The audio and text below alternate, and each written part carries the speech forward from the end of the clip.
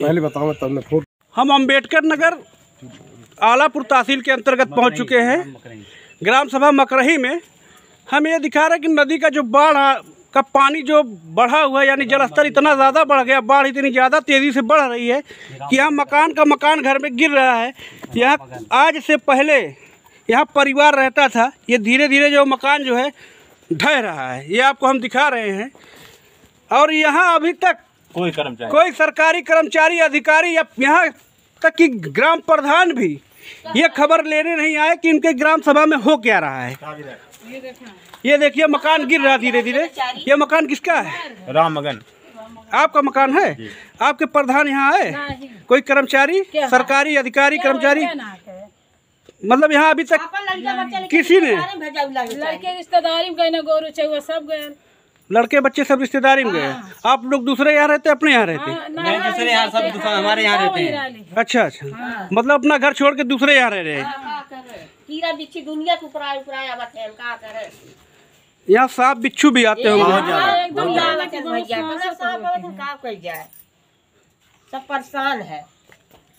अब जितना ऊंच पास पानी में से सब ऊँचे आवत है। सब ऊँचे आवत मतलब सांप बिच्छू आते हैं इसका जान का भी खतरा है बहुत जान की खतरा है यहाँ पर। यहाँ पर रात में बहुत दिक्कत हो रही है सांप बिच्छू आ रहे हैं।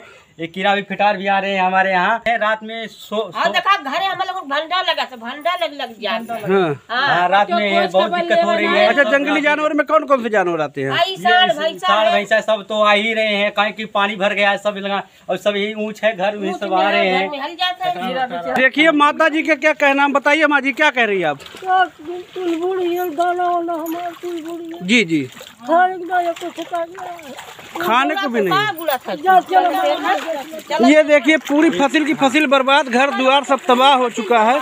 यहाँ अभी तक कोई कर्मचारी भी नहीं, सरकारी अधिकारी भी यहाँ तक नहीं पहुँचे कि इन लोग को मतलब कुछ सुविधा मुहैया कराया जाए, इनको कुछ राहत पहुँचाई जाए। यहाँ तक कोई अधिकारी अभी तक पहुँचा नहीं ये देखिए, सड़क पर भी पानी पूरा भरा हुआ है।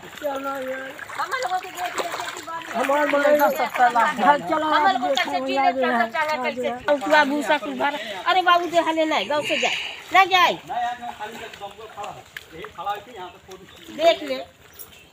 कुल में भूसा है ये देखिए गल्ला भरा हुआ है इस घर के अंदर लेकिन सारा भीग गया है। हम आपको दिखा रहे हैं कि जनजीवन किस हिसाब से अस्त व्यस्त हो चुका है। सैकड़ों परिवार जो है अपना घर छोड़कर जो है बाहर दूसरे के घर में रिश्तेदार के नात बात के यहाँ रहते हैं जो उनका सारा खाने पीने का सामान है या सुविधाजनक जो भी सामान सारा जो है पानी के अंदर आ चुका है।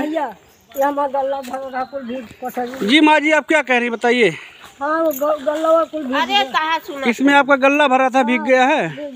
कुल पा- का भरल हमें सांप दुनिया के दवर दवर जाते हैं हमें सब निकल के बाहर रोट डाला सांप भी जा रहे हैं। अरे देखा यहाँ लोगों को खाने के जो है दाना के लिए तरस रहे हैं। अभी तक यहाँ कोई अधिकारी कर्मचारी नहीं पहुँचा है। भैया रहना है? सभी का स्वागत है दोस्तों मैं आपको कुछ एक घाघरा नदी का प्रकोप जो है जल स्तर इतना ज़्यादा बढ़ चुका है मैं दिखाने जा रहा हूँ अंबेडकर नगर के टांडा तहसील और आलापुर तहसील के बीचों बीच मैं खड़ा हूँ। एक तरफ़ आलापुर तहसील आती है दूसरी तरफ़ जो है टांडा तहसील आती है। आप देख सकते हैं कि यहाँ जलस्तर जो कभी नहीं आया लगभग 20-25 साल में इतनी ज़्यादा बाढ़ कभी नहीं आई मैं आपको दिखाना ये चाह रहा हूँ कि आप अपने कैमरामैन से दिखवाना चाह रहा हूँ कि जो जल स्तर बढ़ा हुआ है देख लीजिए आप किस हिसाब से पूरे पूरे गाँव लगभग सैकड़ों हज़ारों घर की संख्या में जो पानी के पर, प्रभाव में आ चुके हैं।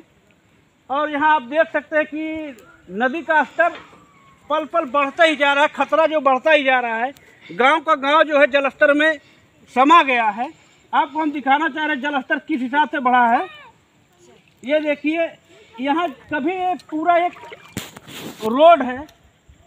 ये रोड आज मालूम नहीं पड़ता इसके ऊपर से नदी बह रही है।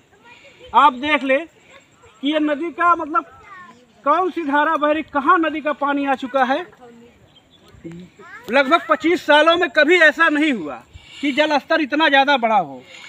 लोगों का यहाँ के जो लोग हैं, उनका कहना है कि 25 सालों में कभी इतना ज़्यादा, जो 25 से 30 सालों के अंदर कभी इतनी ज़बरदस्त बाढ़ नहीं आई थी, इतना ज़्यादा जो है जल स्तर नहीं बढ़ा था। आपको हम दिखा रहे हैं कि पूरा पूरा गाँव कैमरामैन से अपने कह रहे हैं कि वो दिखाएँ जरा, जो नदी के अंदर, ऐसा मालूम पड़ता है कि नदी के अंदर ये घर बनाए गए हैं। दोनों चारों तरफ़ पानी है और बीच में घर बने हुए। जरा यहाँ कैमरा घुमाइए।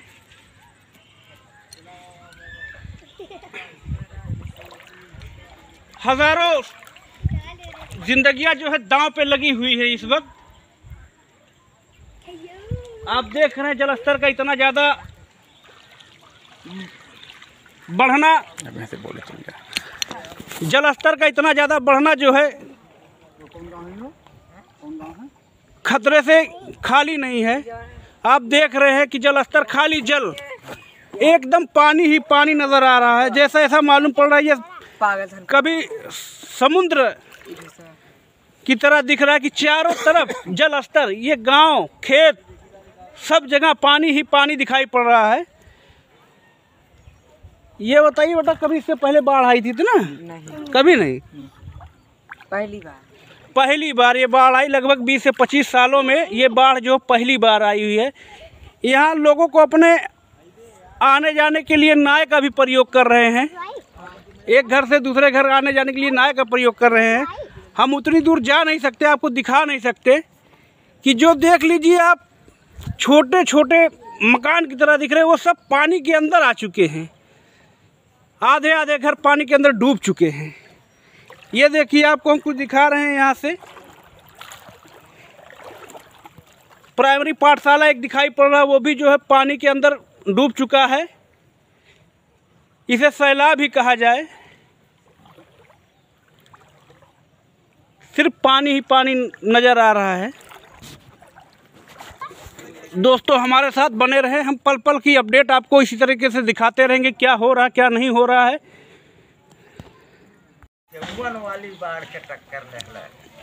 आइए हम इसी गाँव के लोगों से पता करते हैं कि ये बाढ़ कब तक कब आई थी इससे पहले और कितना आई थी। दादा बताओ तो है कि चौवन वाले चौरासी में आई थी जब डिसेंस साहब एस डी एम थे तो लेकिन उससे ज़्यादा ये पहले की है बाढ़। मतलब इससे पहले चौरासी में बाढ़ आई थी लेकिन वो भी इतना ज़्यादा नहीं पानी ज़्यादा नहीं थी। इस सीज़न में बाढ़ आई थी कभी? नहीं। हम्म। अक्टूबर में नहीं आई थी पहले आई थी। अक्टूबर में नहीं आई थी पहले आई थी। हाँ। हम ये समझ रहे हैं नवंबर अक्टूबर ये रोड से जितना भी गाँव इधर पड़ रहा है लगभग जो भी चार है हम्म। पलटू पीपर है यार का है है है। सैदपुर है ये सब घर में पानी इतना भर गया है। खड़े हैं हाँ हमारे यहाँ देखो यहाँ सब पानी चल रहा है एक हाथ देखो सब पानी की है। लहर जा रही है। हम आपको दिखा रहे हैं कि नदी का जो स्तर है यहाँ से लगभग एक किलोमीटर दूरी पे है। यहाँ तीन किलोमीटर यहाँ से नदी का जो स्तर है कितना? तीन किलोमीटर है। जो नदी की मेन धारा कितना किलोमीटर यहाँ से होगा? लगभग यहाँ का कहना यहाँ के लोगों का कहना है कि तीन किलोमीटर है। और तीन किलोमीटर बाद हम आपको दिखा रहे हैं नज़ारा। तीन किलोमीटर तो हम जा ही नहीं सकते नदी के स्तर तक। जा सकते हैं कि तीन किलोमीटर की बात की बात है जो धारा चल रही इस वक्त। ये देख ले आप कहाँ इसका जल स्तर है। तो चाचा हम समझ रहे कि आप लोग रात में भी नहीं सोते होंगे। एकदम नहीं रात भर हमारे यहाँ दादा ये रात भर खटिया बैठ के यहीं ये रखा रहे थे कि पानी का भाव चल देखो ये मेहनत करके देखा। ये भैया हमारे ये श्री देखो ये सब रात में पानी है। अच्छा ये बताइए किसी अधिकारी का यहाँ दौड़ा हुआ था कि नहीं? कोई अधिकारी नहीं आया? अधिकारी कोई कोई नहीं आया। हमारे यहाँ कोई नहीं आया। प्रधान आपके? प्रधान भी नहीं भी नहीं आया। प्रधान भी नहीं आया प्रधान नहीं आपके प्रधान भी आप लोग के पास नहीं आए आपके लोग मतलब खोज खबर लेने के लिए मकरही दलित बस्ती में बाढ़ की ये हाल। ये मकरही दलित बस्ती की बात हम कर रहे हैं जहाँ बाढ़ की ये हाल है कि घर तक डूब रहे हैं। खेती किसानी तो खराबी हो चुकी है पूरी बर्बाद हो चुकी है। और यहाँ का जो मौजूदा प्रधान वो भी इन लोग के पास नहीं आया कि मतलब क्या पोजीशन क्या है क्या नहीं है क्या परेशानी है क्या है। प्रधान भी इन लोग की खोज खबर लेने को तैयार नहीं है।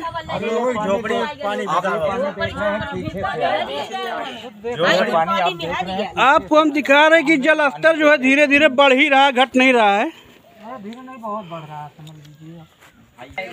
ये देखिए झोपड़ी के अंदर पानी घुस रहा है। आपको हम दिखा रहे हैं लाइव दिखा रहे हैं। आप झोपड़ी के अंदर जो है पानी पूरा घुस रहा है। मेन रायसी मकान है। ये रहायशी मकान इसमें आज से पहले लोग रह रहे थे। इनका जीवन अस्त व्यस्त होता नज़र आ रहा है। का भी सीन ले लीजिए आगे का अब इस घर के अंदर न कोई आ सकता है न जा सकता है ये मिट्टी का मकान है कभी भी ढह सकता है। बाढ़ इतना ज़्यादा बढ़ गई है। पानी का जलस्तर इतना बढ़ गया है कि ये कभी भी मकान ढह सकता है। ये सड़क पर पूरा पानी बह रहा है। ये दो दिन से बाहर है। इन्हीं का मकान है दादा ये आपका मकान है? अरे आपके प्रधान जी आए आपसे पूछे कुछ? प्रधान जी भी नहीं आए। कोई अधिकारी कर्मचारी?